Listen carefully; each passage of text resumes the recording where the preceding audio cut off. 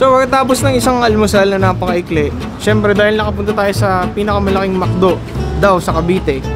Di umano. Hindi pwedeng hindi ako magbibirol dahil may magandang lugar dito para magbirol. Gagawa tayo ng napakaikling bike sequence, bike b-roll sequence.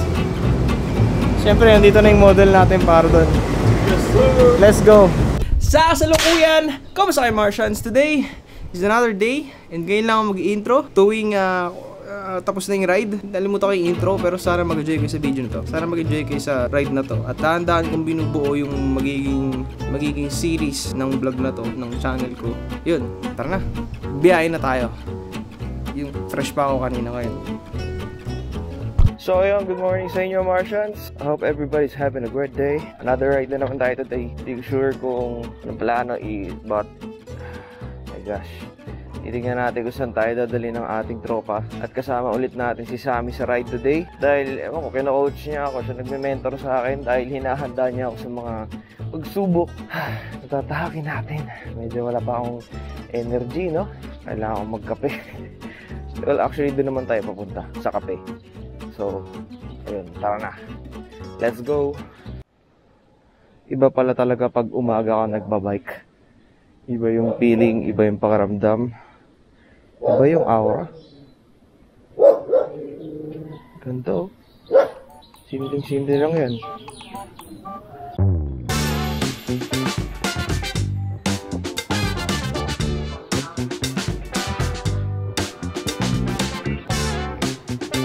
Kasama na natin ngayon si Sammy. Yes, sir. At magra-ride kami sa... Anong tawag doon? Biggest McDo. Okay, tara. Tara, let's. Hindi ko alam kung ano yung... Depende ikaw. Basta susunod lang ako sa'yo. Yes, sir. Good morning. May facing si Sammy. So, hahabol tayo, guys.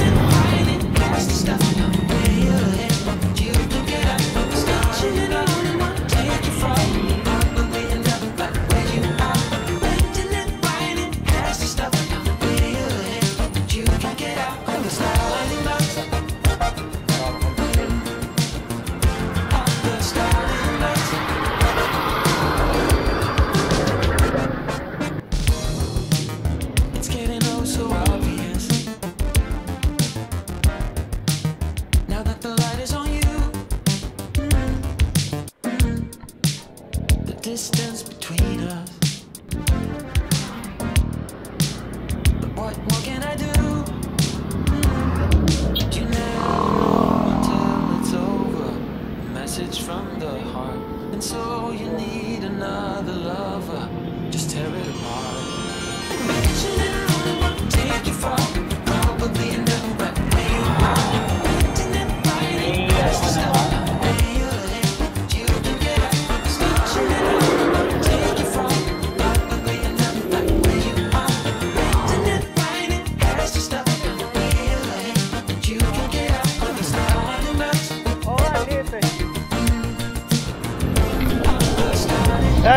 all home na po tayo. Sa nakikita nyo? all home na. Ah, sabi ni Sammy, pupuntahan daw natin yung pinakamalaking McDo sa Gentry? Sa Cavite. sa Cavite pala. Pinakamalaking, Mac- pinakamalaking McDo sa Cavite. Ang iingay. Kuya, kanina pa eh. Ay, guys!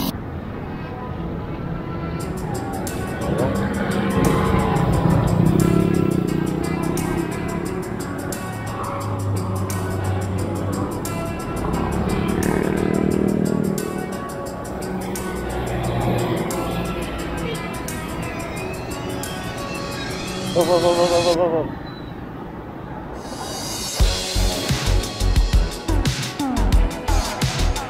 Ahon dito ng onte.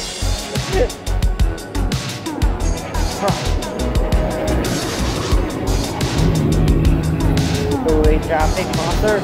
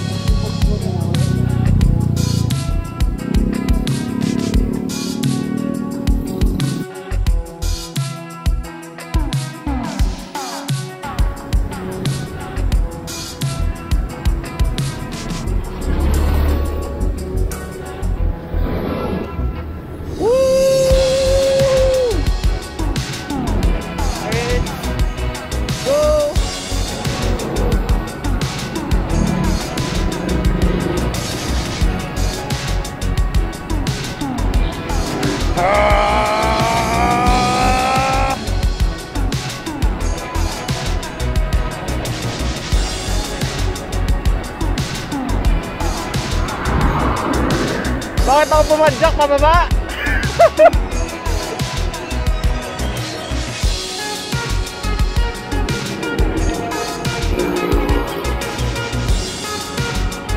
From terrain, let's follow this guy. Uy, uy.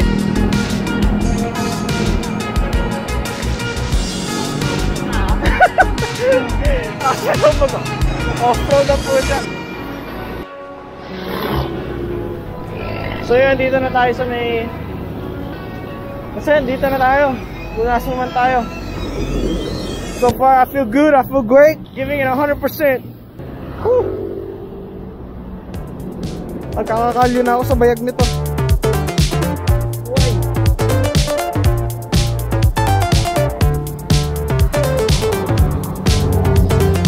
Okay, current destination. Lapit na tayo guys. Almost there. Prank lang yung kanina. Whew.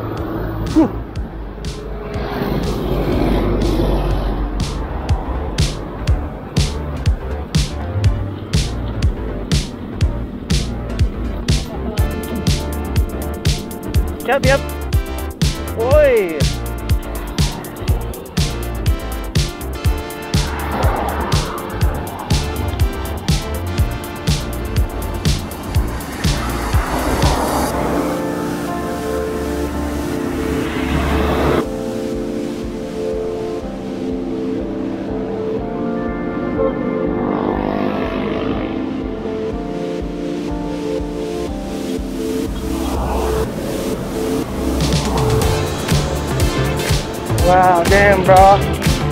Maple Grove, Grove Street, home, home of the famous fried chicken nuggets.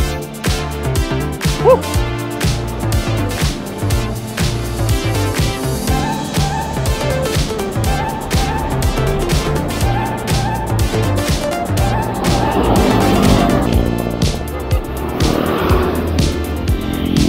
Bike and dine, wow.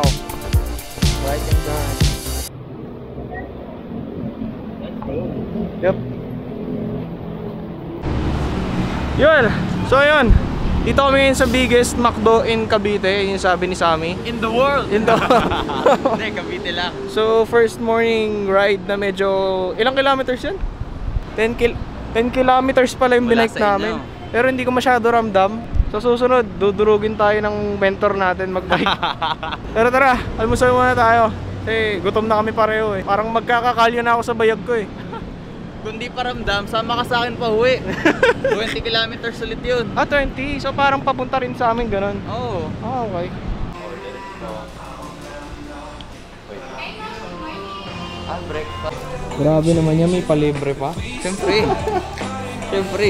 Gutom na gutom na talaga yun, pananlibre. Alam Baka, mo, baka sabihin mo, binubudol kita eh. Sabi ko kasi, ayan na yung McDo, hindi pa pala eh. Gutom lang pala yun, men. gutom lang. Ang dami na temptation, KFC, Jollibee. Kaya nga eh. Oh. May Starbucks pa. Starbucks.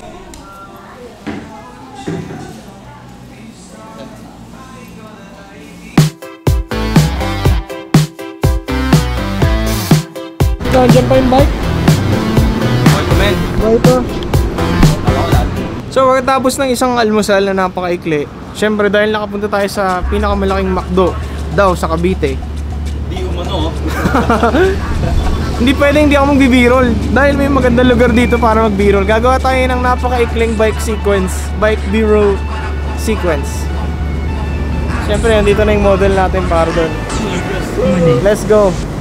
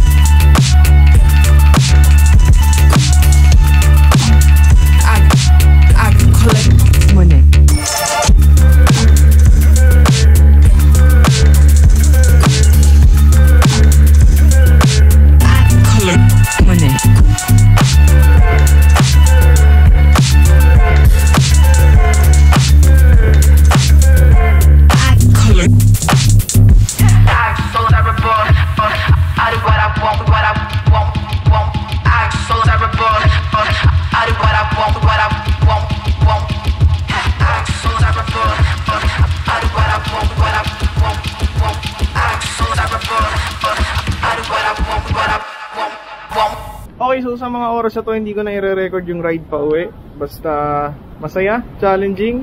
At 20 kilometers pa balik, try natin na-record. If hindi, hindi. If oo, let's go.